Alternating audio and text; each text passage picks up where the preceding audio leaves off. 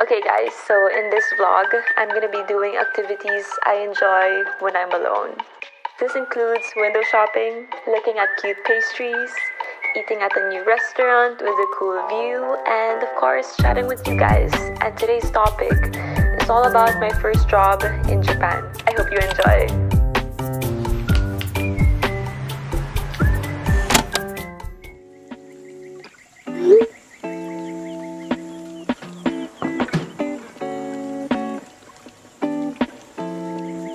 I'm trying to decide where to have lunch, like late lunch today. And I think I'm going to this place in Shibuya. It's called Tsurutontan. I want to try it out because look at the view. It's overlooking the scramble. So I think it's gonna be so nice to like eat while watching people cross the streets. I'm just gonna brush my teeth because I drank coffee so I can taste the coffee in my mouth still and it tastes really gross. So yeah I'm gonna brush my teeth and then we are gonna leave.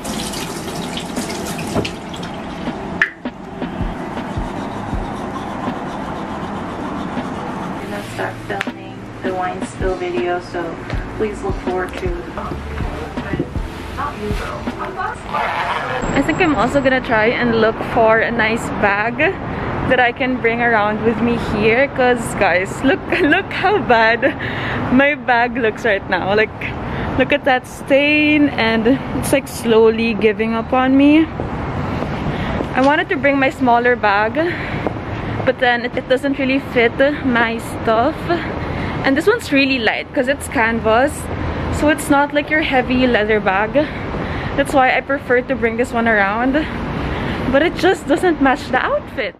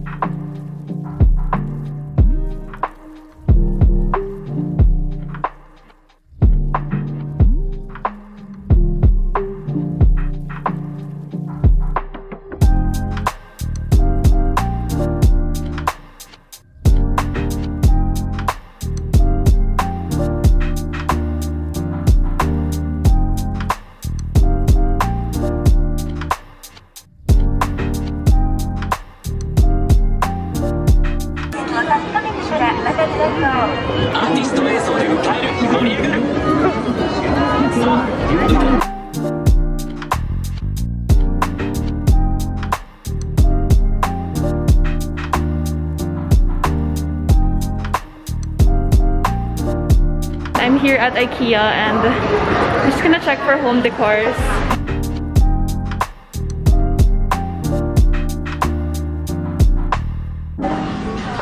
Look how cool this room is.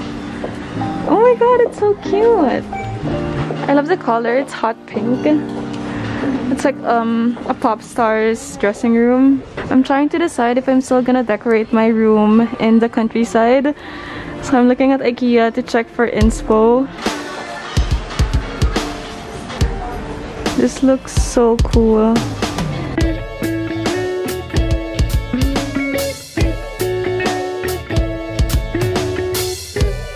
I think I'm gonna get a candle. I'm picking between this fruity scent or this vanilla scent. Let's get this. This is nice. Like this is a pretty big mirror and it's also really affordable.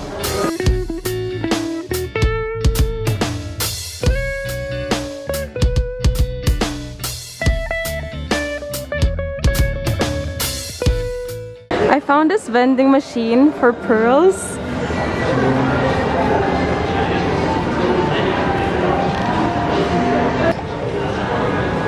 Oh my god! you can actually buy accessories here. Let's check this.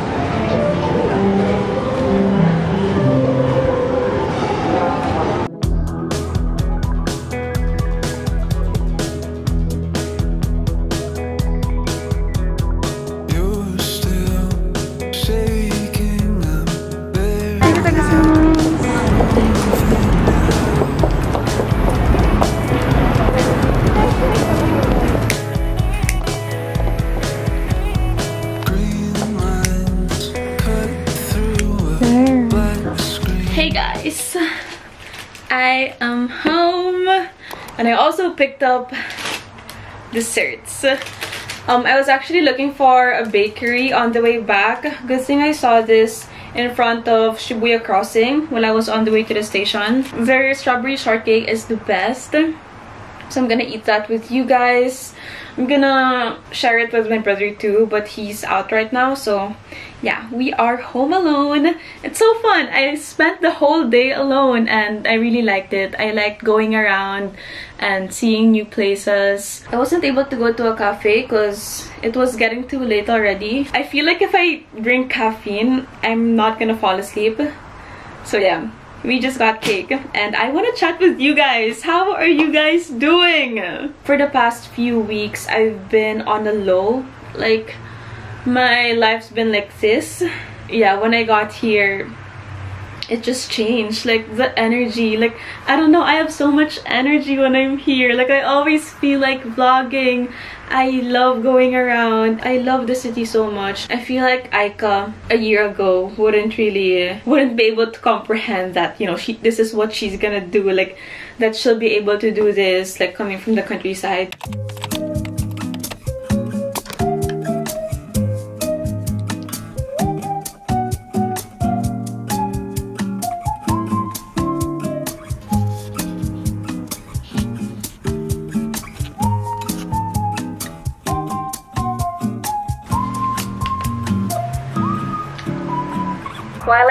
My tiny cake, um, I want to share with you my first ever job experience in my life and also here in Japan because this is where I worked.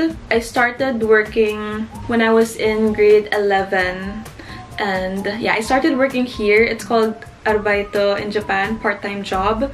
Um, I was in grade 11 and at that time I would keep coming like back and forth here in Japan and I would stay for two to three months during my summer break and my holiday break.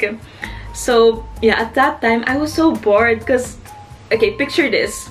I lived in the countryside and we wouldn't really do much because like my parents were both working and it was just so boring like there's not much to do in the countryside so being there as a teenager yeah i was bored out of my mind. Um and then one day a friend of my mom asked if i wanted to work at the place she works at.